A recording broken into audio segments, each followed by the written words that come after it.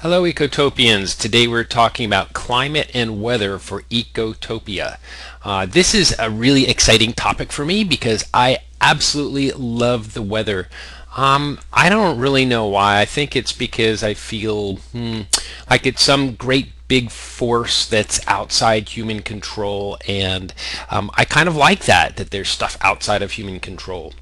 And it come it brings all kinds of wonderful things. It brings us uh, warm days and it brings us rain that we can drink and that keeps the uh, forests growing green and it blows in the birds and I love snow and all kinds of things. So I have tried to uh, limit my enthusiasm into uh, 25 or 26 slides and give a pretty, uh, in my view, brief overview of weather, uh, but I hope you enjoy it. Here's exactly what I'm trying to get out of this section of Ecotopia.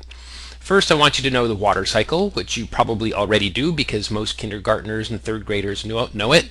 Uh, we'll just review it quickly and know the difference between climate and weather, and do not confuse the two. Uh, understand Hadley cells, Hadley cells and you. That might be something new to you. Uh, know that we're in a Mediterranean climate. What is it and why are we there? Look at our local weather patterns, the ones on the north coast. Understand the interaction between high and low pressure systems. That's when we start getting really nerdy about weather and understand the sequence of events surrounding a winter storm, which is great if you live on the north coast during a winter storm and you've learned your lessons from this. You'll know exactly what's going on outside and you'll be paying attention, which is, in my opinion, a good thing. Uh, also understand summertime fog on the north coast, which is nice. It helps you plan your day. And of course, these things are all very uh, important to the redwoods and explain microclimate variation and topography in redwood country and visit the National Weather Service website, which is uh, uh, an assignment coming up for you guys soon. And start thinking about dum, dum, dum, climate change in redwood country. Okay, just start thinking about it if you haven't already. Okay, so let's start with the water cycle. Here it is. Uh, hopefully you know it. Um, water uh, exists in three forms on the planet, liquid, vapor, and solid forms. The solid forms being very cold and very nice to ski and skate on. The liquid forms being uh, fresh or salty. The salt, the oceans being like the bathwater of the continents for billions of years the continents have been washed with rain and everything soluble inland has gone out into the ocean where it still is unless it sediments out. Anyway, oceans are salty and they give off a lot of uh, water vapor uh, which rises into the atmosphere uh, water vapor also comes from the land and it also comes from wet, fresh water. So water vapor is rising into the atmosphere where as it cools it condenses and forms fog and then falls down as precipitation uh, either uh, you know snow or rain or hail. Okay, and then it falls on the land and it runs off. And uh, that's all cool. What most people don't really understand is that uh, part of the water cycle is what's underground. And there's a lot of water underground. And it comes out, it, we see it in springs and uh, it seeps into rivers and lakes. Uh, we tap into it with our wells, uh, but there's a lot of it there. It's just invisible, so people don't think about it very much. But every step you take is over groundwater. Down there somewhere is water. My mother recently sent me an email saying they found a diamond or something like that that proves that there's a huge amount of water way down deep in the crust, which is pretty cool. So I guess the water cycle can go deep into the earth. Okay, that's it for the water cycle. Okay, number two, know the difference between climate and weather. Quote, climate's what you expect, weather's what you get. That quote was is often attributed to uh, uh, Mark Twain, um, but as a critical thinker, I look for sources, and I found a source that said, no, not so much. It wasn't Mark Twain. Nobody really knows who originated it. Origin who made it up, um, but it doesn't matter. It it uh, it sums up the difference between climate and weather pretty pretty well. Uh, climate's what you expect. Climate is the weather conditions prevailing in an area over a long period of time. It's not what you have today. Weather is the state of the atmosphere at a place and time as regards heat, dryness, sunshine, wind, rain, etc. So today's weather here in Arcata looks like it's cool and cloudy where I am. Uh, our climate is something different altogether. Um, I get kind of upset when there's a spell of extra cold weather or extra um, large amounts of snow or even extra hot weather and people say, see, this proves climate change or climate change. They said it's climate change and we just had a record cold temperature. I'm sorry, you are referring to the weather, not the climate. Two different things. Get them straight. Uh, so you're interested in the weather. I just want to point out that the best place, in my humble opinion, to find about the weather is at the National Weather Service. Um, the federal government has its failings, but man, the National Weather Service is awesome. So check it out. I'm just going to show you. I open it up, and here is the Eureka office of the National Weather uh, Service. Uh, you want some other place? Uh, you can. Let's see if this works. New York, New York. Nah. How about uh, New York City, New York? They like that?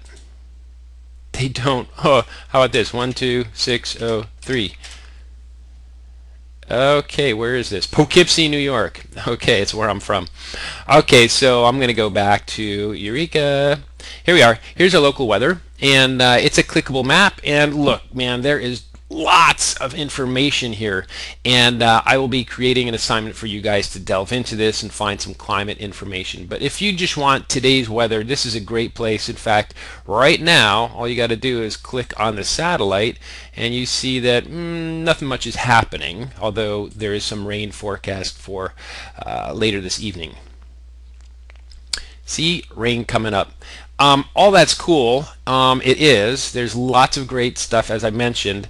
But if you want to get very geeky about it, you come down here to the forecast discussion. Click on it. And here is, uh, let's see, who is this guy? Oh, come on.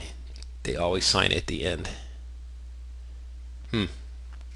I don't see it. Usually, oh, I guess it's usually the uh, the the uh, meteorologist. Um, puts on his initials or her initials at the end. Anyway, this is the meteorologist uh, speaking to other people who understand meteorology speak. And so if you really want to get the real information, read this. It's hard to understand, but I've I'm, I've have no training as a meteorologist, but I read these all the time and I do my research and I find out what they're talking about, and it's taught me a lot.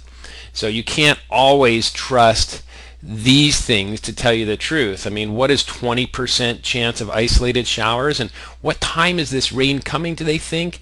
Uh, and later on, do they really know this or not? Well, you can get the real information from these other guys. Okay, so the National Weather Service website is totally cool.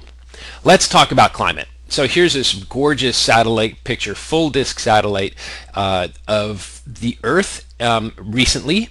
And uh, wow, look what's going on. We've got a bands of clouds and we have dry areas uh, and other stuff going on. And so what I want to do now is talk about climate. Different parts of the earth experience different kinds of climate. Duh, of course. There's huge deserts in some parts of the world and other places are, are mm, like tropical paradises and other places are cold. And why is that? How come, how can we understand climate on the face of the earth? Okay, so let's start really simply.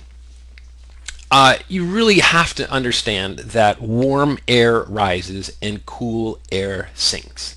And so here's a place where the Earth is being heated by the sun, which is the driver of all weather on the planet, the sun. And uh, so when the sun hits the land, it warms it up. And when it warms air, warm air rises relative to nearby colder air. So warm, low pressure air rises. So low pressure, uh, it's just like sucking on a straw. When you suck on a straw, you create low pressure and you pull stuff up.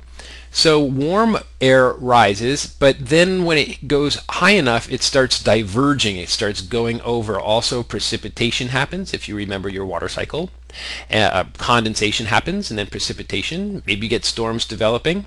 And I'm going to go to the next slide to show you that um, after that warm air moves away from the warm area, um, and it has lost its water, it is starts condensing. It becomes cool, dry, high pressure. Okay, so cool, dry air is dense and it falls, and it warms as it falls, which is kind of cool. So um, low pressure air, as you condense it, as it gets deeper in the atmosphere, it gets condensed and actually becomes warmer and even drier. Okay, so let's put these two things together. The, the um, convection, where the sun is heating up the earth, and then over here where that um, formerly warm wet air drops as cool, cool dry air. Let's put it together on the face of the earth. So um, the Earth is heated unevenly by the sun. The equator tends to get a lot more sun than the poles. So this place warms up more. And so this is a band of convection, warm, moist air rising into the atmosphere, cooling and condensing in what is called the Intertropical Convergence Zone, the ITCZ, Intertropical Convergence Zone. And that's pretty cool. If you live there every day, uh, when the sun hit the earth, about midday, the, you get clouds forming, you get a little bit of rainfall, and then it clears up again, day after day after day. Uh, but what happens to this air after it leaves this area? Remember, the air rises and then it diverges and it comes this way, and at some point it falls down. It's going to be cooler and drier. Uh, let's take a look at that. That should be an A, a Hadley cell this is a cross-section sort of cutout of the Earth's atmosphere with the equator here, and that is the place where the warm air is rising, and we have the intertropical convergence zone, and we have this hot air coming up and moving northward and southward, but we're just going to go northward here. And it drops here at 30 degrees, about 30 degrees north latitude, which puts us, uh, I don't know, Los Angeles, Baja, something like that.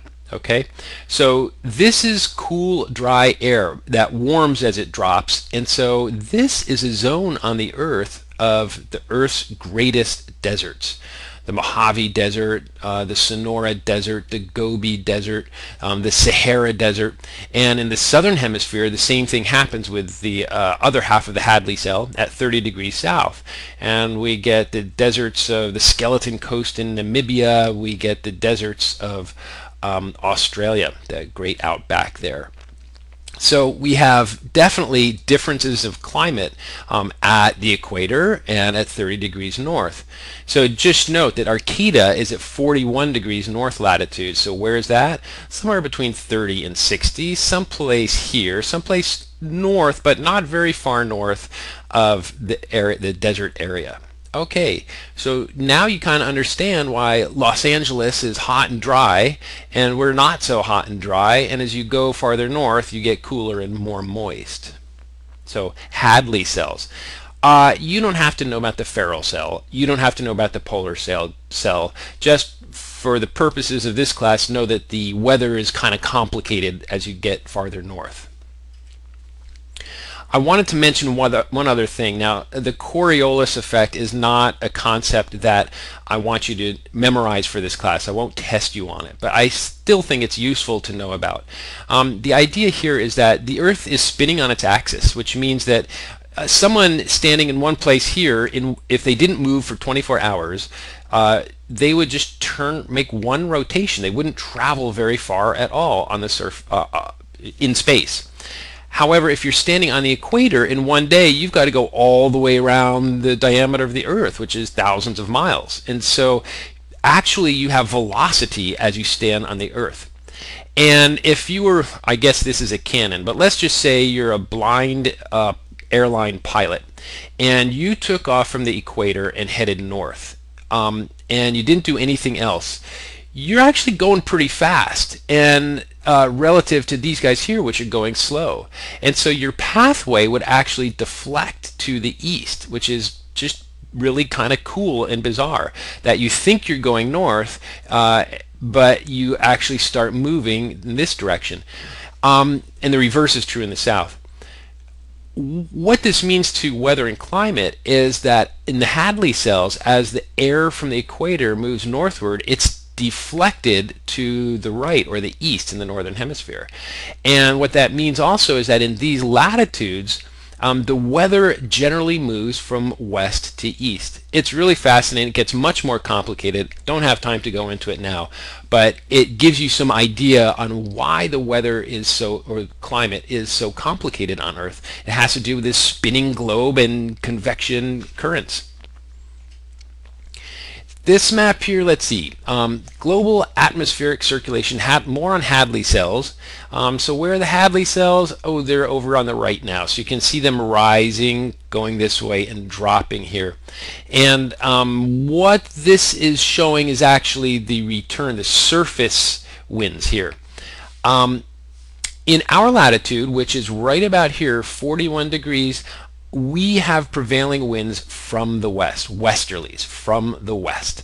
So our weather comes from the west, and we're on the west coast of North America. So our weather is always coming from the over the Pacific Ocean. Sometimes more from the north, sometimes more from the south, but continuously from the west. Kind of nice to know. And if you, uh, when you get rich and you retire and you buy a yacht and you go sailing around the world, you're going to want to know a lot about these prevailing winds. Because if you want to go to Hawaii, you want to catch these uh, winds right here, but you don't want to get becalmed in the doldrums, which happens. So and so forth. So um, write me a postcard when you do that and tell me how it's going. Hadley cells. Make sure you know them and understand them. Also, make sure you know that we're at uh, 41 degrees latitude. That's a nice little thing to know. You should know your address. Okay. Oh yeah. Let's. I just want to show you this. There's this animation here. I'm just going to play it for you. So, excuse me. So um, it's kind of cool. The palomar.edu has this, and uh, you can turn all sorts of things on. And I think I'm going to keep the Hadley cell profile on. I'm going to mm, I'll hide the intertropical convergent zone because you pretty much know where it is. I'm going to leave the high and low pressure zones. And um, when I play it, it's going to start in January and go through the year. And as I do that, keep your eye on this H. It's called the subtropical high. It's where the um, air from the Hadley cell is descending. This is the hot, dry air. And notice how it moves. Now, if it moves to the north, it makes us hot and dry. If it moves to the south, then it allows other kinds of weather to come down and give us rain. And so watch the precipitation as it changes. Precipitation is in green here. Okay, here we go. Uh, I'm going to stop it here in spring. You've noticed that this has gotten bigger and our rain has gone away. Here it is June at the summer solstice. The, this big high pressure system is right there and it's pushing all the rain away. We're not getting much rain here in June or July or August, but in September you see it's shrinking. We usually get our first rains in September, October, November, and boom, we've got rain again here in November, and so on and so forth. Okay, so um, this is kind of showing you a little bit how the global climate changes generally. This last winter we had kind of a drought from oh practically September through February. It's still a drought. We just got some rain. Um, and it was because this guy here was exceptionally large and persistent, and it was hard for these low pressure systems to break through. So uh, we didn't get much rain this year. Okay, uh, let's see. Great. The other thing I wanted to point out is um, that affecting the climate is the ocean. And surface winds drive oceanic currents, which are also affected by temperature and continents. So um, these don't change though. They don't change nearly as much as the weather does, but these are set up by atmospheric circulation and the Coriolis effect what I really want, you, the two things I want you to get out of this. Number one is that um, the temperature has a very strong effect on, I'm sorry, the ocean's temperature has a very strong effect on the atmospheric temperature. So if there's nice warm water coming up, it's going to warm up the air and put a lot of moisture in the air. If the water is very cold, it doesn't matter how much sun you're getting, you're going to feel chilly if the water comes across the ocean. The ocean is a huge thermal sink, and so it regulates air temperature, not vice versa. The second thing I want you to get out of this is that in California, um, the prevailing currents come from the North Pacific and then strike the continent. So it's fairly cooled water. Also, as it strikes the continent, there's an upwelling effect. So deep, extra cold water upwells along the coast of California. And so that actually has a big effect, uh, a huge effect really, on coastal California within a couple miles of the coast. And we'll come back to that later when we talk about fog. Okay, uh, I also just wanted to point out that because the weather is moving in this direction, uh, places on the west side of an ocean will be relatively warmer and wetter than places on the east side of the ocean. And so that's why at corresponding latitudes in the United States, um, there's a very different climate. These guys are warmed by the Gulf Stream, whereas we are cooled by this upwelling cool stuff. Okay, so we have very different climate and weather. Okay, next slide. Uh, the other thing um, wanted to point out should be obvious that seasonality has a huge impact on both climate and weather. So, so climate is what happens long term, and you could say, well, sure, over centuries, thousands of years, uh, it's been warmer here in summer, and then in winter it's been colder, and so we have snow in winter, or we don't have snow in summer. Okay, but it also affects our day-to-day weather, which you guys should be noticing um, in your um, backyard observations. So, um, four dates you should uh, uh, commit to memory. Um, let's start where we are, sort of. We're just after the vernal equinox, March 20th, where we have equal hours of, well, of sun up and sun down. Okay, e not late and dark, but when the sun is above the sky and below the horizon, uh, March is, uh, is the spring equinox, March 20th. Now, summertime uh, uh, begins on the summer solstice, which is June 21st, which is our longest day of the year.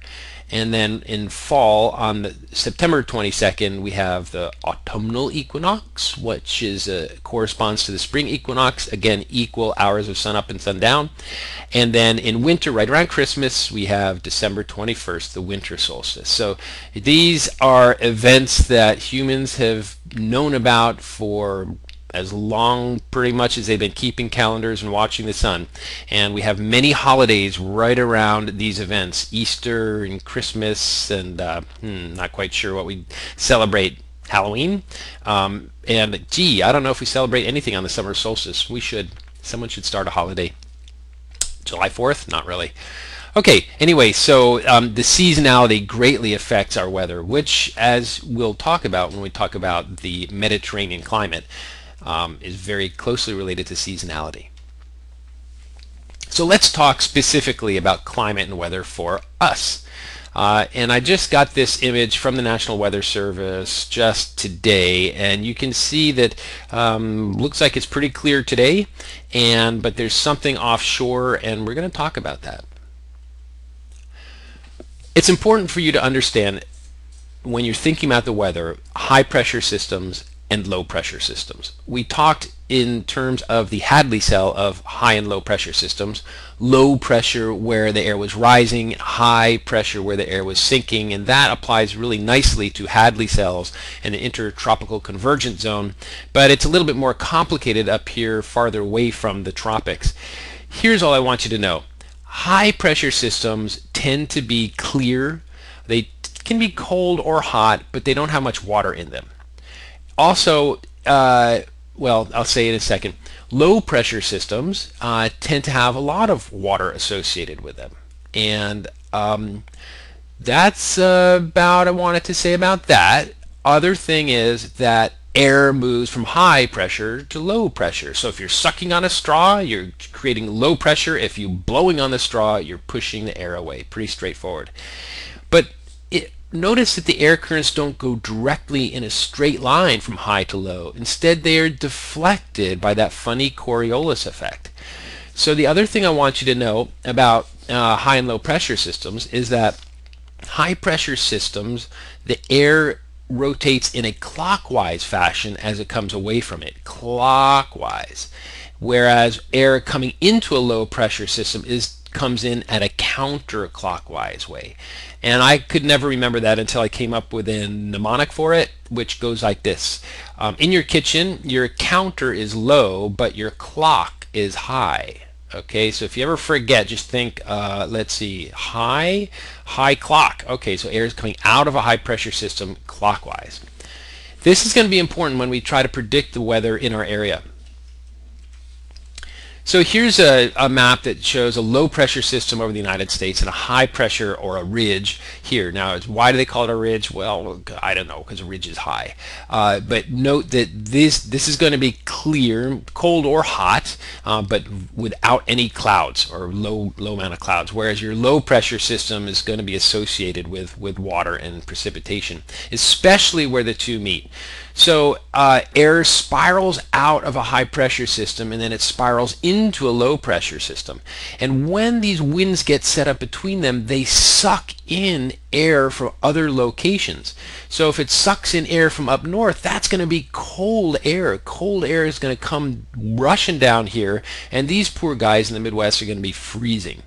Whereas um, over here, uh, this low pressure system is going to be sucking air in from down here. And if it comes from, say, the Gulf of Mexico, it's going to be warm and moist. And that's going to bring moisture up to the northern area.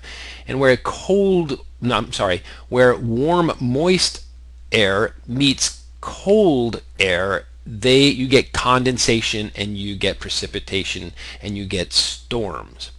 So these guys, as I mentioned before, move, all our weather moves generally from the west to the east. So this low pressure system is going to move this way, this is going to move this way, and from someone on the ground, they're going to be seeing shifting weather patterns as these systems move overhead. And what we're going to do soon is imagine what happens when there's a low pressure system off the uh, North American coast that brings a storm to Arcata, and I'll, I'll tell you how that happens or what to predict shortly. But first, I want to finish up on climate. I said we live in a Mediterranean climate. Mediterranean climate is defined as an area that has cool, damp winters, rarely freezes, and hot, dry summers. All right. I mentioned earlier that I'm from New York originally, and uh, we didn't have cool, damp winters. We had cold, damp winters um, that froze a lot. Uh, we had hot summers, but they weren't necessarily dry because air would come up from the south and would bring precipitation with it. So um, that was not a Mediterranean climate. But on approximately the same latitude over here, we do have a Mediterranean climate.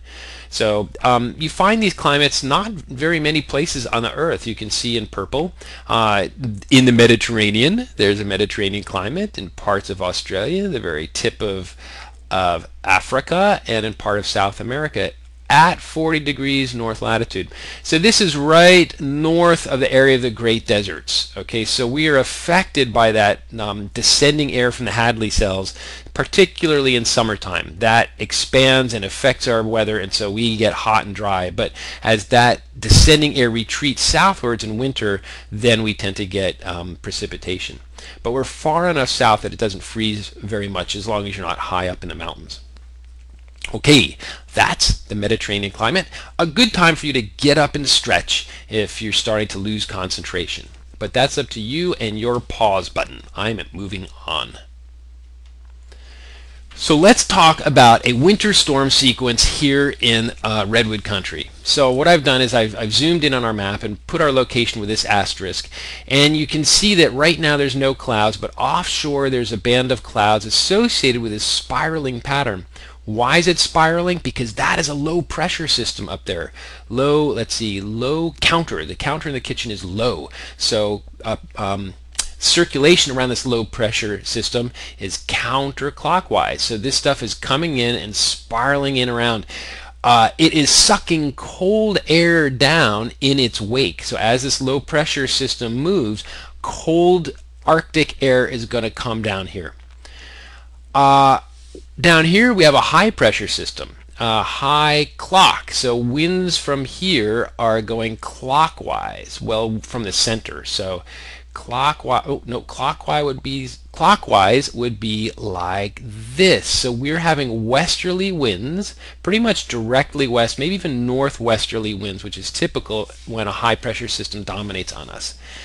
Okay, but where this, uh, let's see, where this high, let's see, how am I going to say this? This is cold air. This is going to be warm air. Where the cold air and the warm air meet, we'll get a lot of wind coming up, bringing a band of mm, humid air from the south. South is going to be warmer and humid air that's going to contact this colder air and it's not going to want to mix. It doesn't mix very well yet. Later on it's going to mix, but right here where they meet there's going to be a lot of condensation, a lot of rain. This is what's called a front. It's where uh, two different kinds of air mix. So this is going to be cold dry air and actually maybe cold even humid air with uh, even warmer more humid air mixing together and this is going to be a storm that's going to hit us but you have to see the high pressure system and the low pressure system. So here we are in Arcata. Stage one, we have sunny days. Stage two, uh, we have, well, at stage one, we have high pressure, wind from the west northwest. We're going to have cold nights, chilly in the shade. This is probably a leftover blob of air that got sucked on down from the Arctic. Uh, in wintertime, uh, this high pressure system could leave us with cold uh, air. In summertime, this might be high pressure, hot air, but we're talking about winter. So we're going to be cold right now. Um, in the morning, there might be fogs and some clouds, but usually this will burn off by noon. So that's typical when we're sitting underneath a high pressure system. Stage two, what happens is this low pressure system moves to the east and this thing starts approaching us. We start getting high altitude clouds, cirrus clouds if you want to be specific, the feathery, um, feathery clouds that are very high up that the sun can shine through. The winds shift around to the southwest. Uh, this is, um, let's see, the air that's coming in, approaching low pressure system is going to approach from the southwest. That's a really good sign that something's happening, is when the wind shifts to the southwest. Lower clouds move in. Now we get a full-on cloud cover. The sun gets blotted out, and um, the air starts feeling warmer and humid. That's that tropical or subtropical air coming up to us.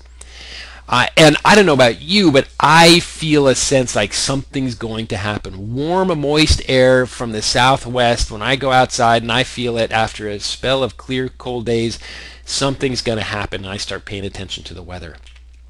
Uh, at first, you'll get light rain, but then as this frontal boundary approaches, you'll get heavy rain and high winds. When that's overhead, um, that's when you really get your uh, gutters washed out. Uh, that might move, uh, well, after the front passes, the rain stops and then it gets cleared. Um, clearing happens and temperature drops. However, it's the rate at which this front passes over you may be very quick, in which case you get a short shot of heavy rain and then it passes and then it's clear. Or it may be very slow. It may even stall above you. If this front stalls above you, you get a lot of rain for a long period of time. So the rate at which this low pressure system is moving is very important to the weather that you actually experience. As this high pressure system behind the front moves over you, the winds shift back to the northwest. Look at this. This spiraling pattern is bringing cold relatively not as wet air from the northwest. And so after the storm, you get strong northwest winds and clear cold nights. So this cold air now is on top of you after relatively warm, humid days. I just wanted to say that sometimes when this front comes over and stalls, they call that a pineapple express. That's because I guess uh, pineapples are grown in Hawaii and this air is coming from that general vicinity and it's uh, full of moisture, the pineapple express. We get drenched. You also sometimes get hail, thunder showers, and or showers for a couple days. In you see all these clouds here. It's for some reason it's unstable air, and so you might get some showers. So cold, hail, uh, sudden showers that come and then go. That's after the frontal passage, and usually doesn't add much extra precipitation. Although you can get surprised by that. Okay, so that's what happens in a winter storm sequence. Go ahead and study it. I'll probably ask some questions about it. Um, make sure you understand it. If you do understand it, you have gone a long way to understanding the and predicting the weather that's happening outside your house, which I think is a good thing. Okay, uh, just a couple other factors affecting local climate and weather. Uh, we've talked about latitude and the proximity to large water, which really modulates your climate. If you live next to the ocean, you don't have much uh, weather uh, temperature changes relative to people who live inland. So Redding is really hot and really cold relative to Arcata. Uh, we've talked about season, and lastly, I just wanted to mention topography, elevation basically, if there is a mountain in the way of weather, the upwind side gets a lot more rain than the downwind side. And that's because the winds hitting the mountain are lifted, and as they're lifted, the rising air cools and condenses, and all the rain falls on one side. On the other side, as the dewatered air descends, it gets warmer, it gets even drier. There's no water left in the air to fall out. And so that's called a rain shadow. And actually, because in the Humboldt Bay area, we are to the northeast of the King Range. We're a little bit of a rain shadow of the King Range. So the King Range gets a lot of the rain that we would otherwise get. A lot of our rain is stops and falls on the King Range, and then we get maybe one or two inches when they get four or five inches that is more pronounced uh, in the Central Valley. So the coast ranges of California get a lot more rain on the west side than they do on their east side or in the Central Valley because that has the rain has been blocked. That happens again with the Sierras. So the, the west side of the Sierra Nevada gets a lot more precipitation than the east side of the Sierras. Just Google Earth it and you can see that on the east side of the Sierras it's uh, much drier than on the west side. So that's what I wanted to say about uh, local topography. I'll mention it again when we talk about fog. Oh, I guess I'm going to say it now. Um, I'm not going to uh, talk about this image here. You can pause the video and study it for yourself. Instead, I'm just going to talk you through fog on the west coast. So this is the coast of California and this is the Pacific Ocean and you can see there's a lot of clouds here and this is low elevation clouds. This is actually fog, just low elevation clouds. And uh, what's going on here? Okay, it's a local phenomenon. It relies on cold offshore currents. I mentioned earlier the California current comes down and bumps up against California and upwells. And so this is a region of pretty cold water in water that was already cold to begin with. It's even colder now. So um, you need that cold water offshore you need a sunny day like we have in summer with a quiet weather pattern because if there's a lot of fronts coming and going then it mixes everything up and fog doesn't form. But when the weather just settles down and there's no, not much wind happening due to larger weather systems, you can get the conditions for fog formation. So here's what happens. First, in the morning, uh, it's going to be cool inland and so there's not going to be much temperature differential between inland and the water. Uh, if there is fog in the morning, it burns off as the land heats up from the sunshine. So that heats up, it becomes warmer, and air doesn't condense when it gets warmer, it evaporates. And so the morning fog burns off. Uh, but in the early afternoon, the inland heats up a lot. So you know the Central Valley can get quite hot, and these coastal uh, mountains can get really hot, and that causes convection. The air rises there, and as it rises, it pulls air in from offshore. So we start getting a movement of air this way. So this moist offshore offshore air passes over the cold water and it's the water in it condenses into fog. And then the fog rolls in. It's pulled in by convection from inland. Look at this right here. This is uh, the San Francisco Bay Area, and uh, this must be the Golden Gate. This is fog streaming into the Golden Gate, and uh, you, when you see this happening, it's just the most magic thing. Looks like we are up here. Looks like uh, this is Cape Mendocino. Looks like at this point um, uh, Humboldt Bay is also getting some fog. Okay, uh, I'm actually going to be quiet for the next three minutes or two minutes or so so you can watch this beautiful video at WIMP showing fog rolling in.